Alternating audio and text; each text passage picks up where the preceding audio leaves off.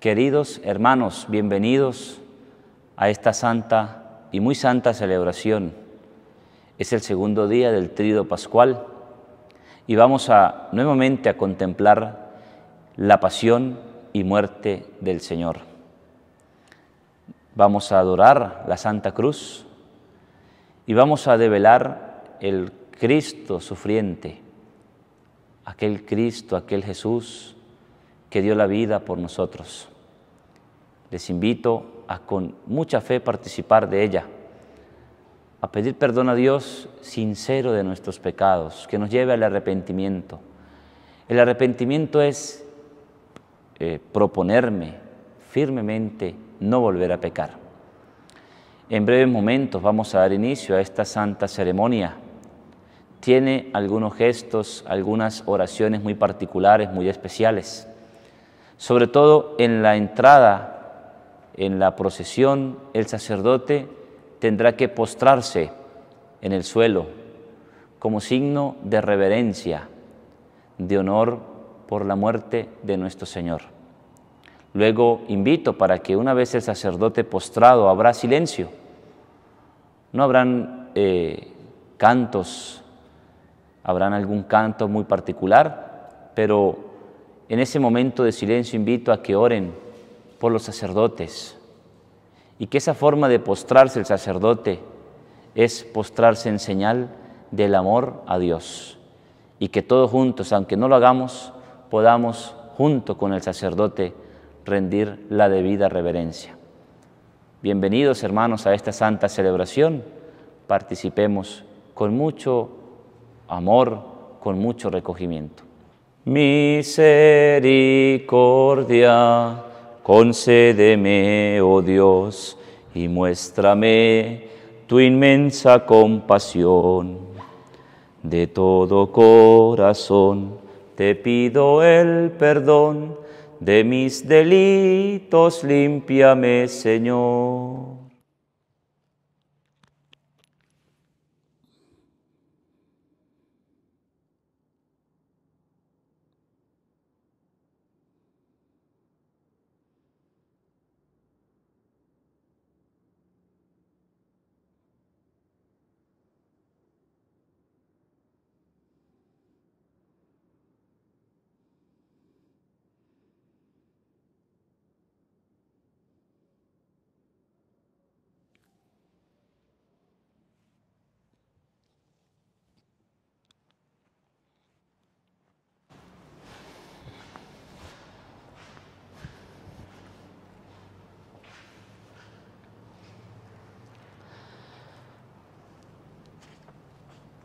Nuevamente, queridos hermanos, nos han quitado la energía eléctrica en nuestro país.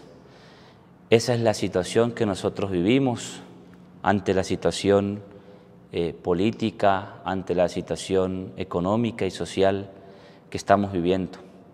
Y bueno, tratamos de iluminarnos con lo que podemos para hacer llegar esta hermosa celebración, este segundo día de el trido pascual.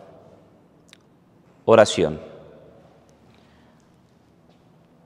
Oh Dios, que por la pasión de Cristo, tu Hijo, Señor nuestro, nos libraste de la muerte, herencia del primer pecado, que alcanza a toda la humanidad.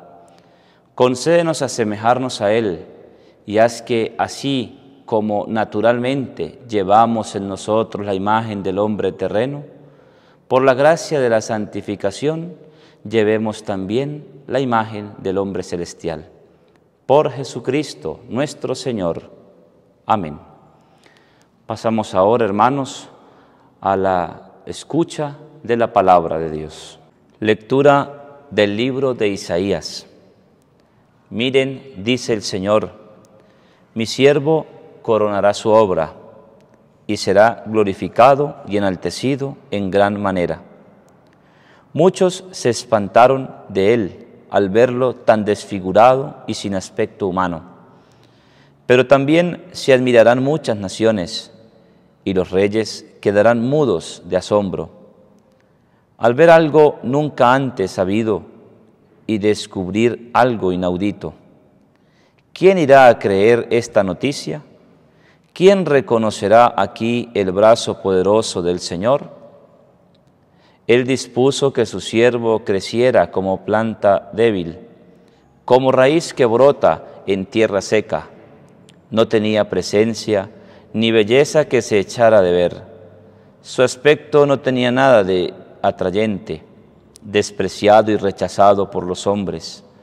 Hombre agobiado de dolores, acostumbrado al sufrimiento, Daba horror mirarlo, lo despreciamos, no lo tuvimos en cuenta, y sin embargo, Él soportó nuestros sufrimientos y cargó con nuestros dolores. Nosotros pensamos que Dios lo había castigado, herido y humillado, pero fue nuestra rebeldía la que lo traspasó. Nuestra culpa fueron las que lo destrozaron. El castigo que nos trae la paz, lo sufrió Él. Por sus heridas alcanzamos la salud. Todos nos extraviamos como ovejas, siguiendo cada uno su camino, pero el Señor hizo recaer sobre Él toda nuestra maldad. A los malos tratos se sometió humildemente, sin abrir la boca. Guardó silencio, como cordero llevado al matadero, como oveja cuando la trasquilan sin protección injustamente se lo llevaron. Nadie se preocupó de su destino. Lo excluyeron del mundo de los vivos. La rebeldía de su pueblo le dio muerte.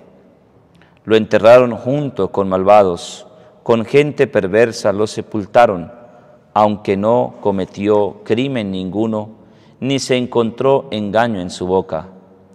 El Señor quiso agobiarlo con el sufrimiento, mas como Él se entregó en reparación por los pecados, tendrá larga vida, verá a sus descendientes y llevará a buen término los designios del Señor. Después de los trabajos de su vida, volverá a ver la luz y el conocimiento de Dios lo saciará. Siervo inocente del Señor, librará del castigo a los demás, cargando con las culpas de ellos y Dios le asignará un puesto entre los grandes, y con los poderosos tendrá parte en el triunfo, porque se entregó a la muerte, y lo contaron entre los malhechores, y soportó el pecado de la multitud, intercediendo por los pecadores. Palabra de Dios, te alabamos Señor. Padre, a tus manos encomiendo mi espíritu. Padre, a tus manos encomiendo mi espíritu. A ti, Señor, me acojo, no quede yo nunca defraudado. Tú que eres justo, ponme a salvo. A tus manos encomiendo mi espíritu, tú el Dios leal me librarás. Padre, a tus manos encomiendo mi espíritu. Soy la burla de todos mis enemigos, la irrisión de mis vecinos, el espanto de mis conocidos, me ven por la calle y escapan de mí. Me han olvidado como un muerto, me han desechado como a un cacharro inútil. Padre, a tus manos encomiendo mi espíritu. Pero yo confío en ti, Señor, te digo, tú eres mi Dios. En tus manos están mis azares, líbrame de mis enemigos que me persiguen. Padre, a tus manos encomiendo mi espíritu. Haz brillar tu rostro sobre tu siervo, sálvame por tu misericordia. Sean fuertes y valientes de corazón los que esperan en el Señor. Padre, a tus manos encomiendo mi espíritu. Lectura de la carta a los Hebreos. Hermanos, en Jesús, el Hijo de Dios, tenemos un sumo sacerdote superior a los demás, que atravesó ya los cielos por consiguiente, mantengámonos firmes en la fe que profesamos. No tenemos un sumo sacerdote insensible a nuestra debilidad. Al contrario, Jesús se sometió a toda clase de pruebas, como nosotros, pero sin pecar. Así pues, acerquémonos con confianza al trono donde reina el Dios de la gracia, para alcanzar gracia y misericordia y obtener la ayuda oportuna. Cristo, en los días de su vida inmortal, a grandes gritos y con lágrimas, ofreció oraciones y súplicas a Dios, que podía librarlo de la muerte, y se hizo escuchar por su piedad filial.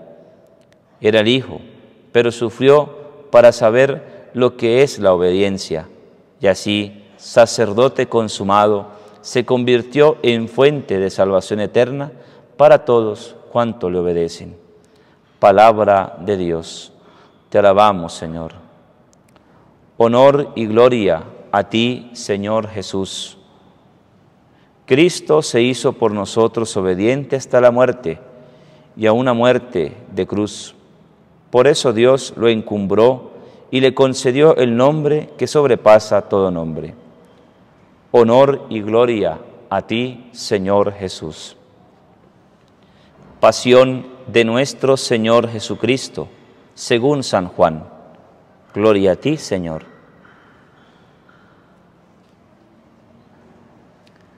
Salió Jesús de la sala donde había celebrado la última cena con sus discípulos y se fue con ellos al otro lado del torrente Cedrón y entraron a un huerto que había allí.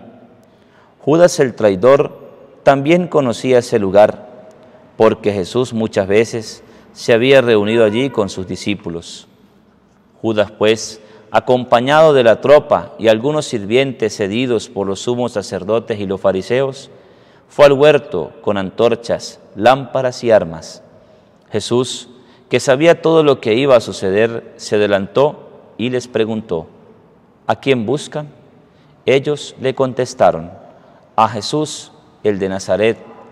Él les dijo, yo soy. Judas el traidor también estaba con ellos. Apenas les dijo Jesús, yo soy, retrocedieron y cayeron al suelo. Jesús les preguntó otra vez, ¿A quién buscan? Ellos le dijeron, a Jesús, el de Nazaret. Jesús respondió, ya les dije que soy yo, de manera que si me buscan a mí, dejen que estos se vayan. Así debía cumplirse lo que había dicho, no dejé que se perdiera ninguno de los que me diste. Simón Pedro, que tenía una espada, la sacó y de un tajo le cortó la oreja derecha a un esclavo del sumo sacerdote. El esclavo se llamaba Malco. Entonces le dijo Jesús a Pedro, guarda la espada, yo tengo que pasar el trago amargo que me dio mi padre. Entonces la tropa con su capitán y los sirvientes y las autoridades judías pusieron preso a Jesús, lo ataron y se lo llevaron primero a donde Anás, el suegro de Caifás.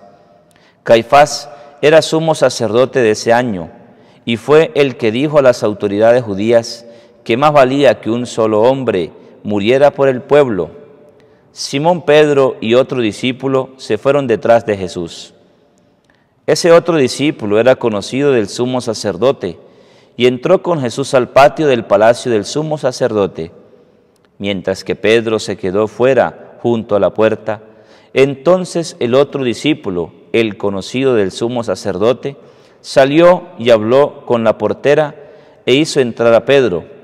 La portera le preguntó a Pedro, ¿no eres tú también de los discípulos de ese hombre? Él respondió, no soy. Los esclavos y los sirvientes habían encendido brasas y estaban allí calentándose porque hacía frío. Pedro se quedó con ellos calentándose el sumo sacerdote interrogó a Jesús sobre sus discípulos y sobre lo que enseñaba. Jesús le respondió, yo he hablado en público delante de todo el mundo. Yo siempre enseñé en la sinagoga y en el templo, donde se reúnen todos los judíos. No dije nada en secreto. ¿Por qué me interrogas a mí? Interroga a los que han escuchado mis palabras. Ellos saben lo que yo he dicho. Apenas dijo esto, un sirviente que estaba allí le dio una bofetada a Jesús y le dijo, ¿así contestas al sumo sacerdote? Jesús le respondió, si hablé mal, muestra en qué está lo malo, pero si hablé bien, ¿por qué me pegas? Entonces Anás envió a Jesús atado a donde el sumo sacerdote Caifás. Pedro seguía allí calentándose. Entonces le preguntó, ¿no eres tú también de los discípulos? Pero él lo negó diciendo, no lo soy. Uno de los esclavos del sumo sacerdote, pariente del hombre al que Pedro le había cortado la oreja, le dijo, yo te vi en el huerto con él. Pero Pedro lo negó otra vez y enseguida cantó un gallo. De donde Caifás se llevaron a Jesús al pretorio, había amanecido, pero los que lo llevaron lo entraron al pretorio para no quedar impuros y poder así comer el cordero pascual. Pilato salió a donde estaban ellos y les preguntó, ¿qué acusación tienen contra este hombre? Ellos le respondieron, si no fuera un criminal, no te lo hubiéramos entregado. Pilato les dijo, llévenselo ustedes y juzguenlo según su ley. Los judíos le contestaron, nosotros no tenemos autoridad para dar muerte a nadie. Así debía cumplirse lo que Jesús había dicho para indicar la manera cómo iba a morir. Entró de nuevo Pilato al pretorio, llamó a Jesús y le preguntó, ¿eres tú el rey de los judíos? Jesús le respondió, ¿dices tú esto por tu propia cuenta o porque otros te lo dijeron de mí? Pilato respondió, yo no soy judío, gente de tu propio pueblo y los sumos sacerdotes vinieron aquí a entregarte. ¿Qué fue lo que hiciste? Jesús respondió, no es el mundo el que me ha hecho rey. Si el título de rey me viniera de este mundo, vendría gente a mi servicio que peleará para que yo no cayera en manos de las autoridades judíos. Pero mi título de rey no viene de aquí abajo. Pilato le dijo, entonces eres rey. Jesús respondió, eres tú quien lo dices. Yo he nacido y he venido al mundo para esto, para dar testimonio a favor de la verdad. Todo el que está por la verdad escucha mi voz. Pilato le preguntó, ¿y qué es la verdad? Pero al decir esto, salió de nuevo al hablar con los judíos y les dijo, yo no encuentro en él razón alguna para condenarlo, pero es costumbre entre ustedes que yo les deje libre a alguien con ocasión de la Pascua. ¿Quieren que les deje libre al rey de los judíos? Ellos gritaron otra vez y dijeron, a ese hombre no, suéltanos a Barrabás. El tal Barrabás era un bandido. Entonces Pilato se llevó a Jesús y lo hizo azotar. Además los soldados trenzaron una corona de espinas y se la pusieron en la cabeza y lo vistieron con un manto rojo y se le acercaban y le decían, viva el rey de los judíos y le daban bofetadas. Entonces salió Pilato otra vez y les dijo a los judíos, miren, aquí se los traigo, quiero que se den cuenta de que no encuentro en él razón para condenarlo. Y salió Jesús con la corona de espinas y el manto rojo. Pilato les dijo, ahí tienes al hombre. Apenas lo vieron los sumos sacerdotes y los sirvientes, gritaron, crucifícalo, crucifícalo. Pilato les dijo, llévenselo ustedes y crucifíquenlo, porque yo no encuentro en él razón para condenarlo. Los judíos le replicaron, nosotros tenemos una ley, y según esa ley tiene que morir, porque se declaró hijo de Dios. Cuando oyó Pilato estas palabras, se fue atemorizando más y más, y entró de nuevo al pretorio y le preguntó a Jesús, ¿de dónde eres? Pero Jesús no le respondió entonces, y Pilato le dijo, ¿a mí no me hablas? ¿No sabes que tengo autoridad para dejarte libre y también para crucificarte? Jesús le respondió, no tendrás autoridad sobre mí si Dios no te lo permitiera. Por eso, más culpable es el que me entregó a ti. Al oír esto, Pilato trató, de dejarlo libre, pero los judíos gritaron, si dejas libre a éste, no eres amigo del emperador, porque todo el que se proclama rey se pone en contra del emperador. Cuando Pilato oyó estas palabras, sacó a Jesús y se sentó en el tribunal. en el sitio que llamaban el empedrado, en hebreo Gabatá. Era la víspera de la Pascua, alrededor del mediodía. Entonces les dijo a los judíos, ahí tienen a su rey. Ellos gritaron, que muera, que muera, crucifícalo. Pilato les dijo, ¿quieren que crucifique a su rey? Los sumos sacerdotes respondieron, no tenemos más rey que al emperador. Entonces Pilato se lo entregó para que lo crucificaran. Se llevaron pues a Jesús y cargado con la cruz salió de la ciudad hacia el llamado lugar de la calavera, o en hebreo Gólgota. Allí lo crucificaron y con él a otros dos, uno a cada lado, y Jesús en el centro. Pilato además mandó a escribir un letrero para ponerlo encima de la cruz. Lo que estaba escrito era Jesús de Nazaret, Rey de los judíos. Como el sitio donde, donde Jesús fue crucificado estaba cerca de la ciudad y el letrero estaba escrito en hebreo, latín y griego, muchos judíos lo leyeron, pero los sumos sacerdotes de los judíos le dijeron a Pilato, no deberías haber escrito el rey de los judíos, sino dijo que era el rey de los judíos.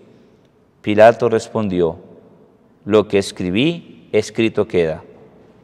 Los soldados, después de que crucificaron a Jesús, se apoderaron de su ropa y la dividieron en cuatro partes, una para cada soldado, y se quedaron también con su túnica. Y como no tenía costuras, sino que estaba tejida de una sola pieza, se dijeron, no la rasguemos, más bien echemos la suerte para ver a quién le toca. Así debía cumplirse lo que dice la Escritura. Se repartieron mi ropa y echaron a suerte mi túnica. Esto fue lo que hicieron los soldados. Junto a la cruz de Jesús estaban también su madre, la hermana de su padre, María de Cleofás y María Magdalena. Al ver a su madre y cerca de ella al discípulo que él tanto amaba, Jesús le dijo, Mujer, este es su hijo. Luego dijo al discípulo, Esta es tu madre. Y desde aquel momento el discípulo la recibió como su propia madre. Después, sabiendo que ya todo estaba cumplido y para que la escritura se cumpliera hasta el final, Jesús dijo, Tengo sed. Había allí una vasija llena de vinagre. Empaparon pues una esponja, la ataron a una rama de hisopo y se la acercaron a la boca. Después de beber el vinagre, dijo Jesús, todo está cumplido. E inclinando la cabeza, entregó su espíritu. Nos arrodillamos un momento y hacemos silencio.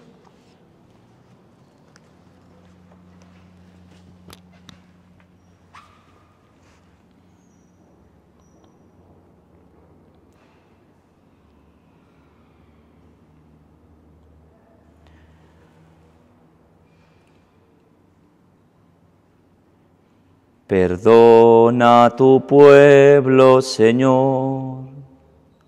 Perdona a tu pueblo, perdónale, Señor. No estés eternamente enojado.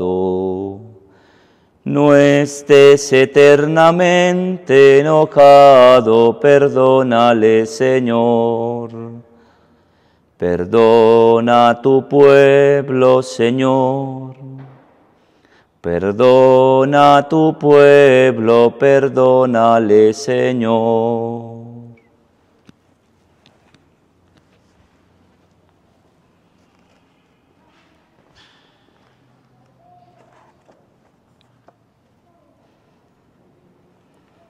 Como era la víspera del sábado, los judíos le pidieron a Pilato que mandara a quebrar las piernas de los crucificados y a retirar sus cuerpos para que no quedaran en la cruz hasta el día siguiente, que era un sábado muy solemne. Los soldados fueron y quebraron las piernas a los dos que habían sido crucificados con Jesús. Pero cuando llegaron a él, al ver que ya estaba muerto, no le quebraron las piernas, sino que uno de los soldados le atravesó el costado con la lanza y enseguida brotó sangre y agua. El que lo vio lo atestigua, su testimonio es verdadero y el que sabe que dice la verdad, para que también ustedes crean, porque todo esto sucedió para que se cumpliera la escritura. No le quebrarán ningún hueso. Y otro pasaje de la escritura dice, mirarán al que traspasaron. Después de esto, José de Arimatea, que era discípulo de Jesús, pero a escondidas por miedo a las autoridades judías, le pidió a Pilato permiso para llevarse el cuerpo de Jesús, y Pilato se lo concedió. Entonces fue y se llevó el cuerpo. También fue Nicodemo, aquel la primera vez había ido de noche a ver a Jesús, y llevó una mezcla de mirra y aloe, como unos 30 kilos. Entonces tomaron el cuerpo de Jesús y lo, y lo volvieron, lo envolvieron en lienzos. Embalsamaron con las sustancias aromáticas, según la costumbre que tienen los judíos para enterrar. En el lugar en que Jesús fue crucificado había un huerto, y en el huerto un sepulcro recién excavado, en el que todavía no habían enterrado a nadie. Así pues, como ese día era víspera del sábado judío, y ese sepulcro estaba cerca, en él sepultaron a Jesús. Palabra del Señor. Gloria a ti, Señor Jesús. Por estas palabras del Santo Evangelio, el Señor perdone nuestros pecados. Amén. Oh Espíritu Santo, amor del Padre y del Hijo, inspírame siempre lo que debo pensar. Y es ese amor que duele como el de Jesús. Y ya va. Vamos a empezar la oración. Oh Espíritu Santo, amor del Padre y del Hijo, inspírame siempre lo que debo pensar, lo que debo decir, cómo debo decirlo, lo que debo callar, cómo debo actuar, lo que debo hacer para la gloria de Dios, el bien de las almas y mi propia salvación. Espíritu Santo, dame agudeza para entender, método y facultad para aprender sutileza para interpretar, gracia y eficacia para hablar. Dame acierto al empezar, dirección al programar y perfección al acabar. Amén. Queridos hermanos y hermanas en el Señor Jesús, la pasión de nuestro Señor Jesucristo entra en la celebración del segundo día del trido pascual que iniciábamos ayer. Por eso adoramos y veneramos especialmente en este día la entrada hasta la muerte en la de la cruz del Señor, porque gracias al árbol de la cruz, el gozo llegó al mundo entero. Cruz que nos redime, nos levanta de los pecados. La cruz de Jesús nos hace tomar conciencia de cómo estamos involucrados todos, de una manera u otra, en las cruces de los demás. Vemos cómo en esta celebración de hoy, cuando recordamos a quienes acompañaron a Jesús para la crucifixión, fueron aquellos mismos que le recibieron en la entrada a Jerusalén. La cruz de Jesús desenmascara nuestra participación en el dolor de otros. Cuando anteponemos la violencia y la guerra en lugar del diálogo y la paz en los conflictos, al ser insolidarios ante la desesperación de quienes tienen que abandonar su país porque no tienen futuro y les cerramos las puertas en la crueldad de la violencia de género o del abuso sexual infantil, que destruye una vida en la inconsciencia por un consumismo que implica deteriorar más el planeta y hundir en la miseria a poblaciones enteras. Cuando giramos el rostro para no mirar al necesitado, que podríamos ayudar en la insensibilidad ante la sociedad de quien está a nuestro lado, o al no negar, al negar el perdón a quien nos ofende, cruces que nosotros mismos fabricamos y cuyo número entre nosotros todos hemos hecho infinito. Cruces que podríamos haber evitado o aliviado, por el contrario, pasamos de largo, indiferentes, o las hacemos más dolorosas. Sucede siempre que el egoísmo lo convertimos en el referente último desde el que manejamos nuestra vida. En la cruz de Jesús está también nuestra propia cruz, la de nuestro pecado personal y la de la vulnerabilidad humana que nos expone a tantas formas de sufrimiento, como el que provoca a diario la pandemia u otras enfermedades, el horror de la guerra, la pérdida de un ser querido o el temor a la propia muerte.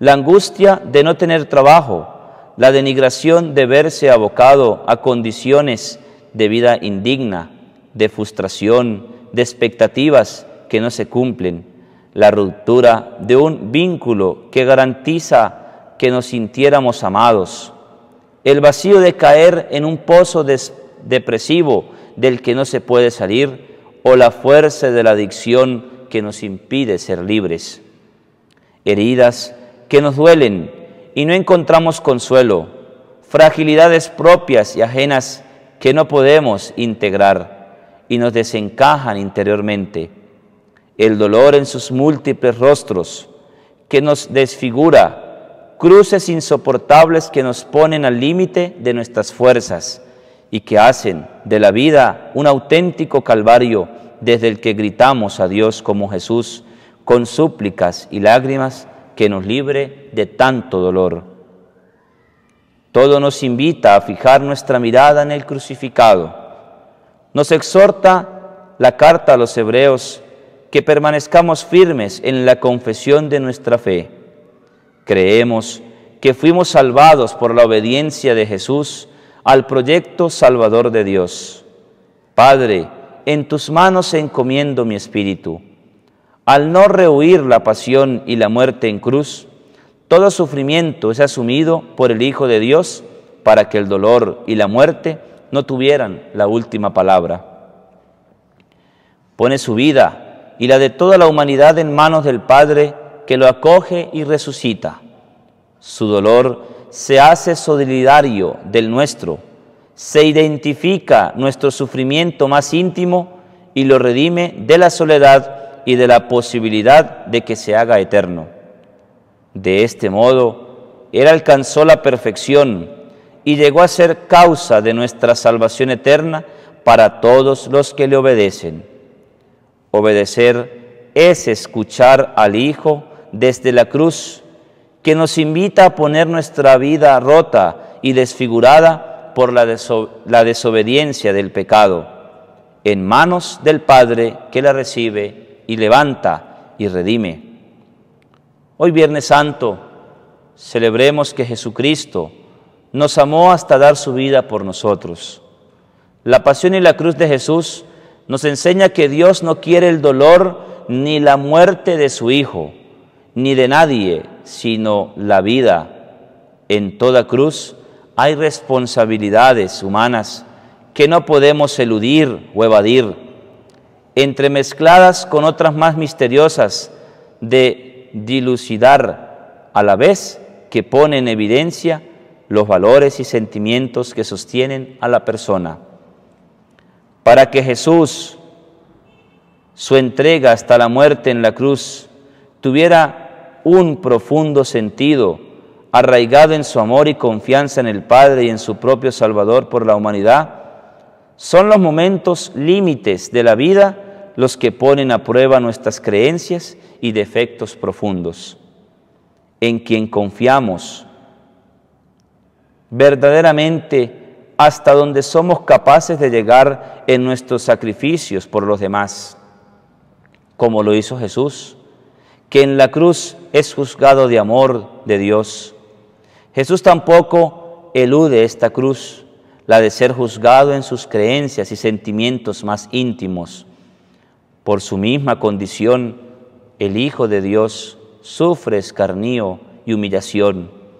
Es juzgado por ofrecer una buena nueva que transforma el mundo en un reino de paz y fraternidad, por revelarnos el amor incondicional suyo y del Padre por la humanidad. Al juzgar a Jesús, Dios mismo es juzgado por su amor, y no hay dolor más grande que ser juzgados injustamente por aquellos que amamos y entregamos la vida. La cruz se hace aún más dolorosa y la entrega más generosa.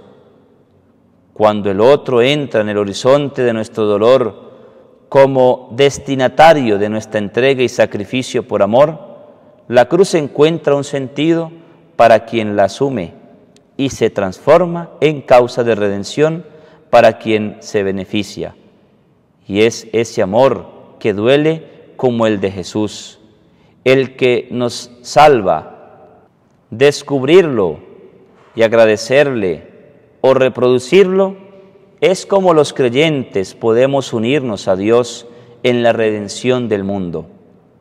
Nos quedan los símbolos que brotan del costado, atravesado de Jesús por la lanza del soldado, sangre y agua, Eucaristía y bautismo, los sacramentos que perpetúan y actualizan la entrega salvadora del Hijo de Dios por nosotros y por la humanidad. Gloria al Padre y al Hijo y al Espíritu Santo, como era en el principio, ahora y siempre, por los siglos de los siglos. Amén. Oración universal.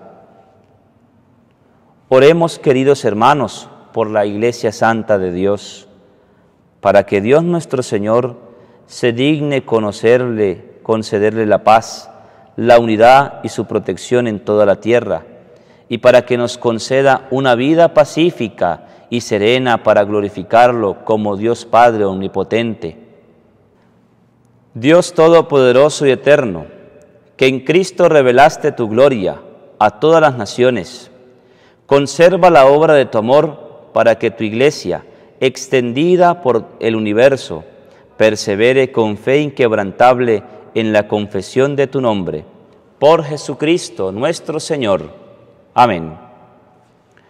Oremos también por nuestro Santo Padre, el Papa Francisco, para que Dios nuestro Señor, quien lo eligió en el orden del episcopado para entregar al pueblo santo de Dios, lo preserve de todo mal para bien de su santa iglesia. Hacemos oración en silencio.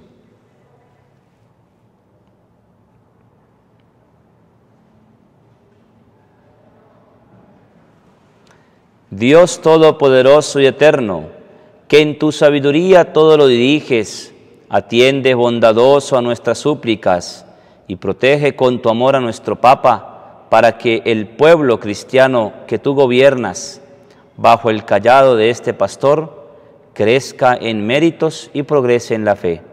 Por Jesucristo nuestro Señor. Amén.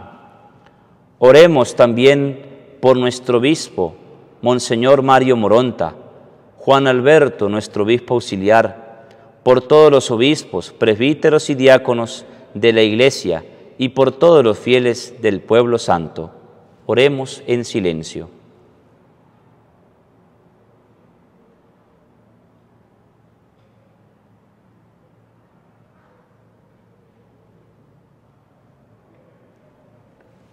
Dios Todopoderoso y Eterno, cuyo Espíritu santifica y gobierna todo el cuerpo de la Iglesia.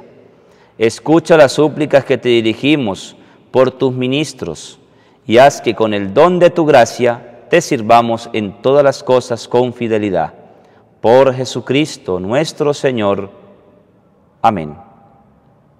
Oremos también por los catecúmenos, para que Dios nuestro Señor escuche sus oraciones les abra de par en par la puerta de la misericordia y perdonados todos sus pecados por el bautismo, queden incorporados a Cristo Jesús, Señor nuestro. Oramos en silencio.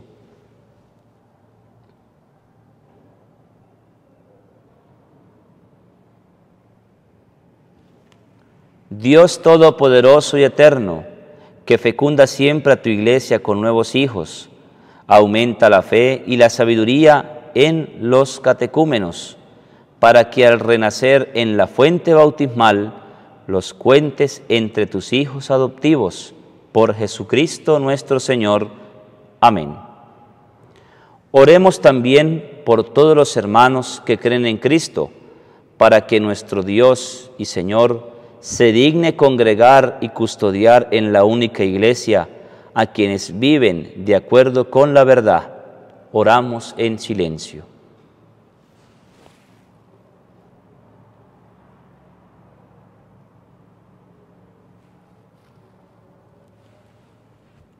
Dios Todopoderoso y Eterno, que congregas a los dispersos y conservas a los que congregaste, mira con bondad la grey de tu Hijo, para que a los consagrados por un solo bautismo los conserve unidos la integridad de la fe y los una el vínculo de la caridad.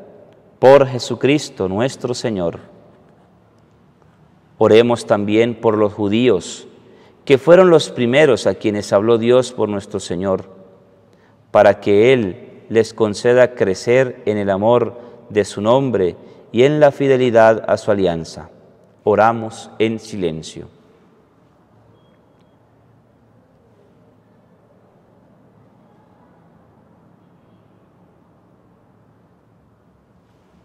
Dios Todopoderoso y Eterno, que confiaste tus promesas a Abraham, y a su descendencia.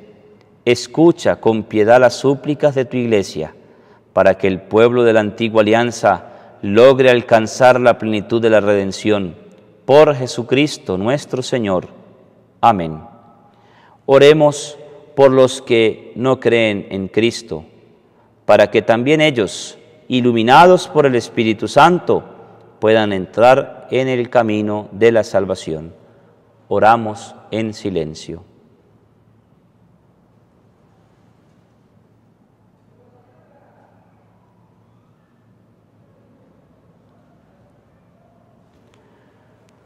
Dios Todopoderoso y Eterno, concede a quienes no creen en Cristo que caminando en tu presencia con sinceridad de corazón encuentren la verdad y haz que nosotros por el continuo crecimiento en el amor y por el deseo de conocer más plenamente el misterio de su vida, seamos más perfectos testigos de tu caridad en el mundo, por Jesucristo nuestro Señor.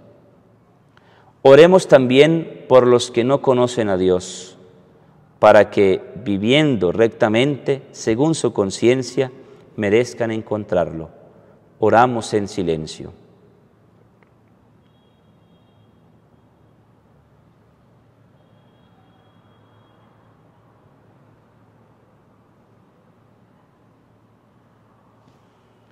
Dios Todopoderoso y Eterno, que creaste a todos los hombres para que deseándote te busquen y para que al encontrarte descansen en ti. Concédenos que en medio de las dificultades de este mundo, al ver los signos de tu amor y el testimonio de las buenas obras de los creyentes, todos los hombres se alegren al confesarte como único Dios verdadero y Padre de todos. Por Jesucristo nuestro Señor. Oremos también por todos los gobernantes de las naciones, para que de acuerdo con sus designios, Dios nuestro Señor los dirija en sus pensamientos y en sus decisiones hacia una auténtica paz y libertad para todos. Oremos en silencio.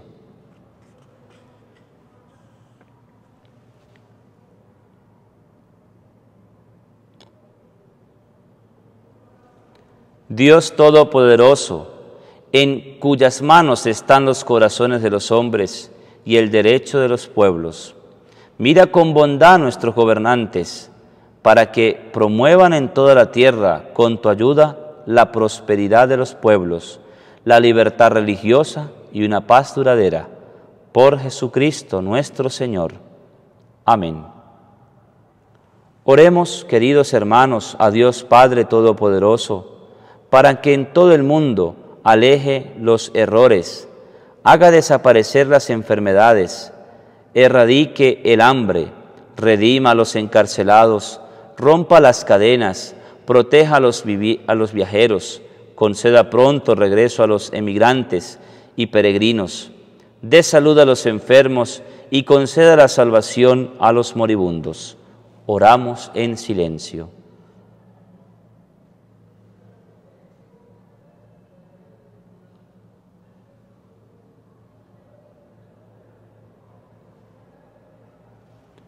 Dios Todopoderoso y Eterno, consuela a los afligidos y fortaleza de los que sufren. Escucha las súplicas de los que te invocan en cualquier tribulación, para que todos experimenten en sus necesidades la alegría de tu misericordia. Por Jesucristo nuestro Señor. Amén. Viene la segunda parte de esta celebración es la adoración a la Santa Cruz. Podremos ya contemplar a esta hora a Cristo muerto en la cruz. Por eso les invito, hermanos, tendremos aquí el crucifijo de Cristo muerto. Le contemplaremos sus manos, le contemplaremos sus pies, taladrados por los clavos contemplaremos la herida de su costado, contemplaremos la corona de espinas, contemplaremos su muerte, su sangre derramada por cada uno de nosotros. Mirad el árbol de la cruz donde estuvo clavado Cristo el Salvador del mundo. Venid y adoremos.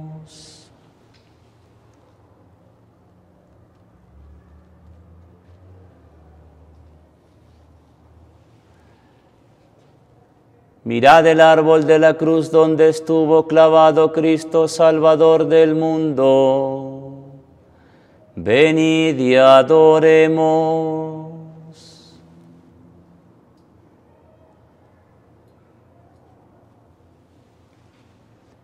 Mirad el árbol de la cruz donde estuvo clavado Cristo el Salvador del mundo. Venid y adoremos.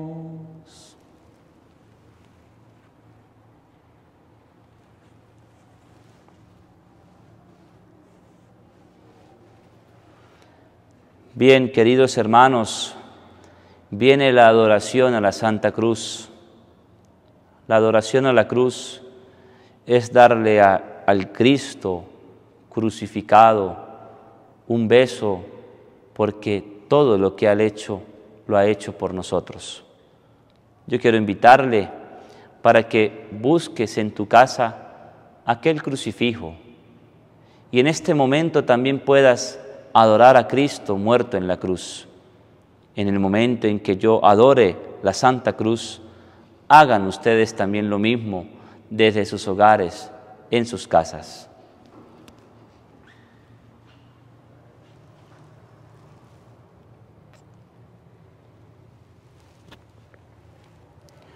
Misericordia, concédeme, oh Dios y muéstrame tu inmensa compasión.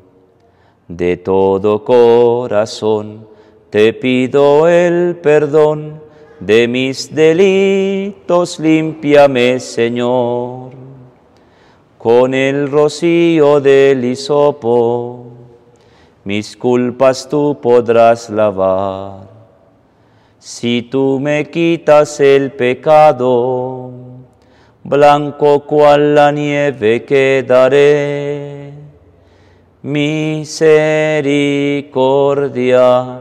concédeme, oh Dios, y muéstrame tu inmensa compasión. De todo corazón te pido el perdón de mis delitos, límpiame, Señor. Viene, queridos hermanos, la tercera parte de esta celebración, que es la Sagrada Comunión. Como les decía en unos instantes, hoy no hay sacrificio de la cruz, hoy no se celebra ningún sacramento, debido a que hoy es un día de luto por la muerte de nuestro Señor. Por eso, en el día de ayer, iniciando el trido pascual, se consagraron las sagradas comuniones para ser destinadas a los enfermos, para la asamblea que participe de esta santa celebración. Pero les invito para que, aunque no puedan comulgar por la distancia, a que repitan esta oración de comunión espiritual. Señor Jesús, tú sabes el deseo que tengo de recibirte sacramentalmente. También sabes el por qué no lo puedo hacer en este momento. Te pido que vengas a mi corazón, me bendigas, santifiques mi vida, mi familia y mi país. Amén.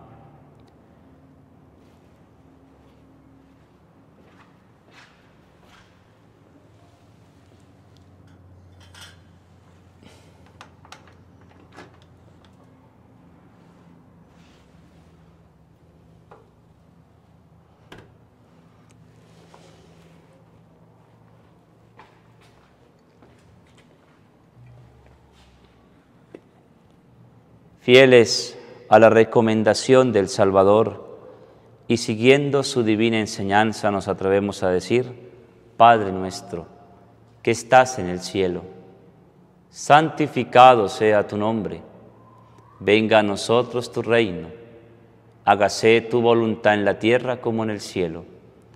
Danos hoy nuestro pan de cada día, perdona nuestras ofensas, como también nosotros perdonamos a los que nos ofenden no nos dejes caer en la tentación y líbranos del mal. Líbranos de todos los males, Señor.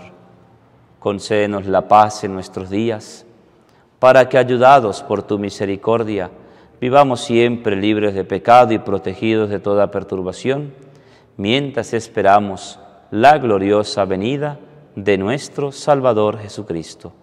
Tuyo es el reino, tuyo el poder y la gloria, por siempre, Señor.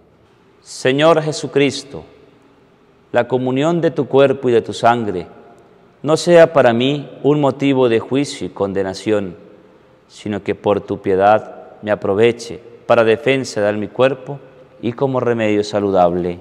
Amén. Este es el Cordero de Dios, el que quita el pecado del mundo. Dichosos, felices los invitados a este santo banquete del Señor. Señor, no soy digno de que entres en mi casa, pero una palabra tuya bastará para sanarme. El cuerpo y la sangre de Cristo, custodia y guarde nuestra alma hasta la vida eterna. Amén.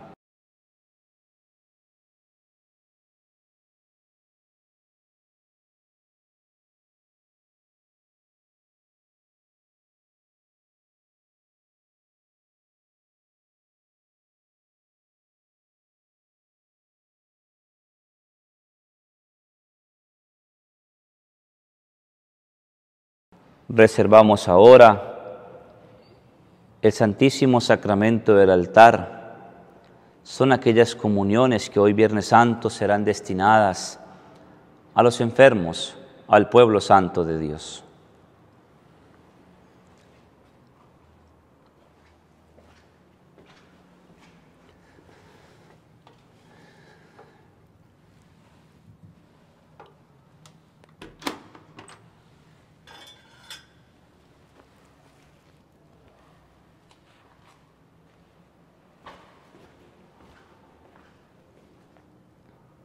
Oremos.